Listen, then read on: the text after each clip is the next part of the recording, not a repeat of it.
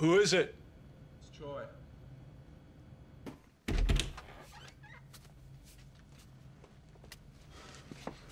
Hallelujah. Get some R&R?